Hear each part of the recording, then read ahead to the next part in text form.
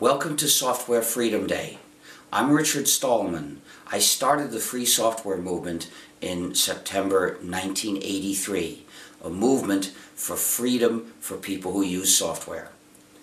A program is free software if it respects the user's freedom. It's free as in freedom. We don't mean zero price. We're actually not talking about price at all. We're talking about your freedom. If a program is not free, we call it non-free software, proprietary software, user subjugating software, because this software puts the users under somebody's unjust power. So what does it mean for software to respect your freedom? There are four essential freedoms which make the definition of free software. Freedom zero is the freedom to run the program as you wish. Freedom 1 is the freedom to study the source code and change it so the program does your computing as you wish. Freedom 2 is the freedom to help others. That's the freedom to redistribute exact copies of the program when you wish. And freedom 3 is the freedom to contribute to your community. That's the freedom to distribute copies of your modified versions to others when you wish all four freedoms are essential in order for the users to have control over the software they use. And that's what this is about. With software, either the users control the program or the program controls the users. When the users control the program, that's free software. When the program controls the users, that's proprietary software. When I started the free software movement, I announced the goal of developing the GNU operating system, a system meant to be entirely free software. And that's the crucial point, because if a system is entirely free software, if all the software you use is free, then you have control over your computing. But if you use some proprietary software, then you don't fully control your computing and someone else has unjust power over you.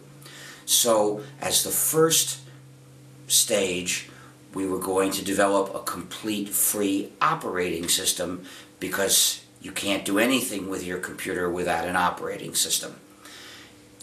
The idea of GNU was to be a Unix-like system, and the name GNU means GNU's not Unix.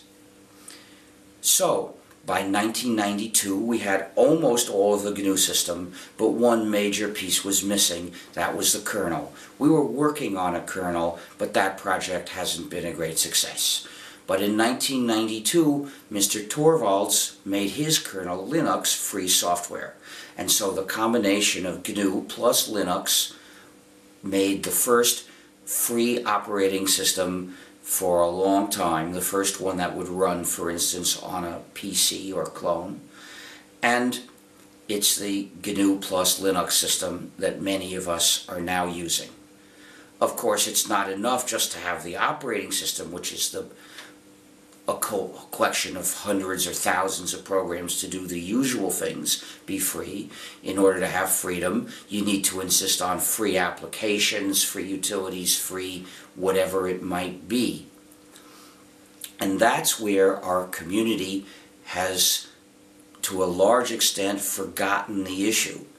Because many people who use GNU plus Linux put non-free applications on top of it or non-free drivers underneath it, and that means they don't reach freedom. Most of our community looks at the convenience of the GNU slash Linux system and doesn't make freedom the goal, which is why we need events to focus on this issue of freedom. But we need to teach people what this means in practice. There are hundreds perhaps thousands of different distros of GNU slash Linux. And most of them actually come with or suggest installing non-free software.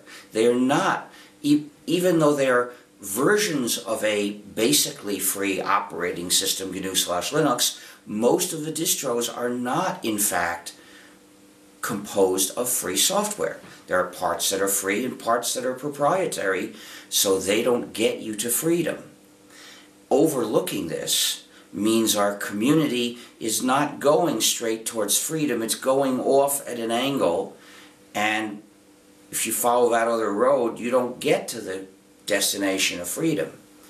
So we need to focus our community's attention on installing entirely free distros and you can find a list of them in gnu.org slash distros.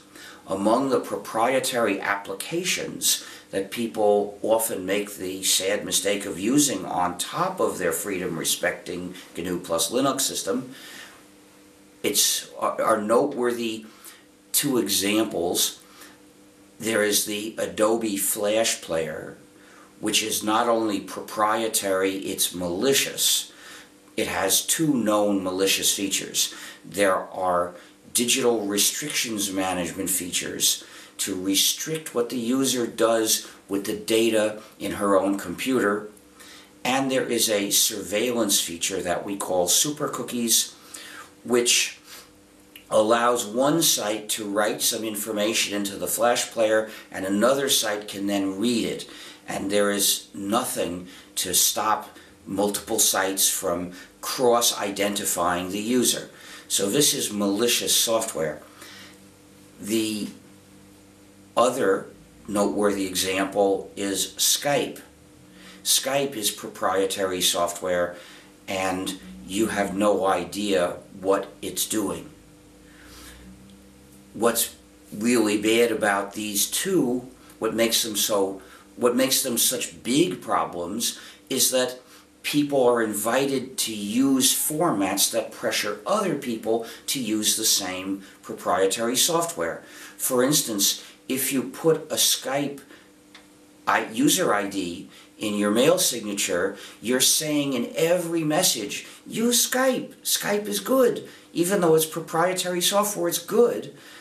Well, if you say that, you're saying the exact opposite of the free software movement, which says, watch for your freedom.